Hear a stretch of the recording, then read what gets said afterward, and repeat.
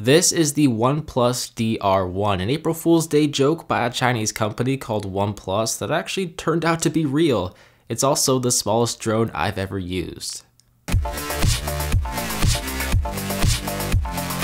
Hey, what's going on tech enthusiasts? BeauHD here, and this is the OnePlus DR1, a drone that can literally fit in the palm of my hand. Now, it's not the smallest drone in the world by any means, but it's the smallest drone that I've ever gotten my hands on, and ever used. Granted, I'm still kind of new to the rapidly growing world of drones. Now, like I mentioned, this was an April Fool's Day product launch, so it wasn't really intended to be sold to the general public, but uh, they did release a limited quantity and I did manage to buy one. Um, but they sold out super quick in a matter of like minutes. Um, I don't think they were available for any more than like an hour or two. Um, but I did manage to buy one and it came in this nice little box as you can see here. It's as if OnePlus spent a good amount of time designing this thing and putting some thought into it. In fact, I'd actually be really surprised if I didn't see a bigger and badder drone from OnePlus in the near future. Maybe one with an HD camera attached to it along with a budget-friendly price tag. I think it's very possible. Now with that said, there were a few things included in the box. There was the drone itself, there was also a controller for the drone so you could actually fly it, and then there's a plastic bag filled with some extra goodies like some tools and some extra pieces. We have four extra propellers, two red and two white, a little proprietary USB charging cable, a mini screwdriver, and some landing gear, and that's about it. The controller is pretty small and requires two AAA batteries, which aren't included by the way. But to get this little drone in the air, it's actually very simple.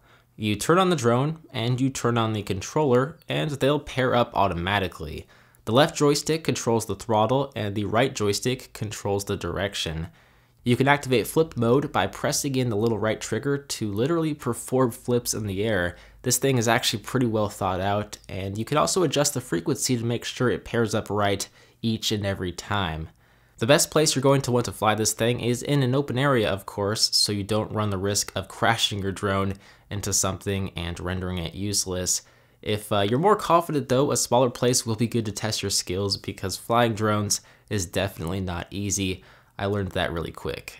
So what do you guys think of this little OnePlus drone? It costs about 20 to $30 with shipping, but uh, like I said, they're all sold out, so if you guys can manage to find one, get your hands on one, um, they are a lot of fun, but I kind of wanted just to make this video to kind of gauge the interest level of drones uh, and see if you guys want to see more coverage of drones because, um, like I said, I'm kind of new to the whole drone scene, but uh, I find them super fascinating and I want to get one that has like a 4K camera and I can fly around and get some pretty awesome aerial shots. If you guys would like to see some of that footage or if you guys would like to see me um, get my hands on a more badass drone, let me know in a comment down below. If not, that's cool too, but either way, you should hit that subscribe button, which is located right down here for your convenience. Uh, I got some pretty cool tech gadgets coming your way that you guys don't want to miss, so definitely make sure you're subscribed.